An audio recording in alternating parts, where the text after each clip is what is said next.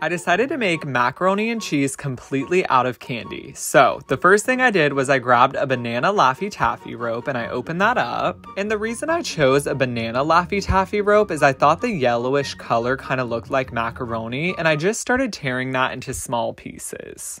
Next, I started to mold those pieces of Laffy Taffy into the shape of macaroni, and I honestly thought it looked pretty similar. And I just kept repeating that process until I had enough macaroni to fit into this bowl. Once I started placing all of the pieces of macaroni into the bowl, it honestly started to look very realistic. And then next, guys, I grabbed the Trolls squeeze candy and used it as cheese. And I just started drizzling it all over the pieces of Laffy Taffy. And the last thing that I did for the macaroni and cheese is I used the Big League Chew hot chocolate bubble gum as tiny little bacon bits on top.